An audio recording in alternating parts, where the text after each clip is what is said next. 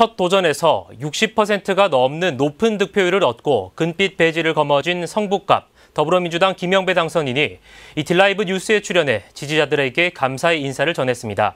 자세한 내용을 이승준 기자가 정리했습니다.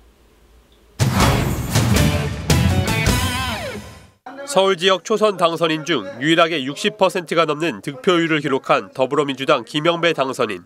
두 번의 구청장 경험 등 지역에서 키운 인물에 대한 주민들의 애정이 느껴졌다고 밝힘과 동시에 180석이라는 압도적 지지에 무서울 만큼 책임감을 가진다고 덧붙였습니다. 지역에서 키운 일꾼에 대한 그런 특별한 애정과 기대가 있는 거 아닌가 싶어서 더 어깨가 무겁고요. 특별히 180석이라고 하는 거대 여당을 만들어 주신 민심도 어, 무서울 만큼 그런 책임감을 사실 갖게 합니다. 김 당선인은 21대 국회가 앞으로 일하는 국회와 시민의 목소리를 경청하는 국회로 나아가야 함을 강조했습니다.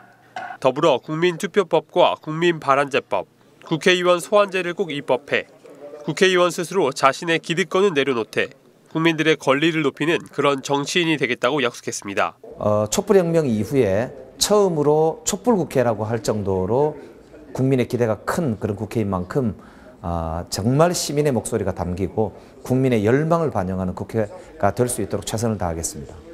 지역 현안에 대해선 성북구의 낙후된 환경을 개선하기 위해 생활 SOC 사업을 통해 도시 인프라를 확충하겠다고 밝혔습니다. 우리 성북구청장과 서울시장과 잘 협력해서 이런 과제들을 어, 좀 효과적으로 진행할 수 있도록 구청장의 경험을 살려서 초반부터 바싹 챙기겠습니다.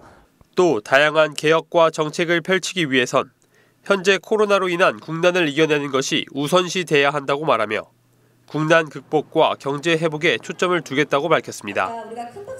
딜라이브 서울 경기 케이블 TV 이승준입니다.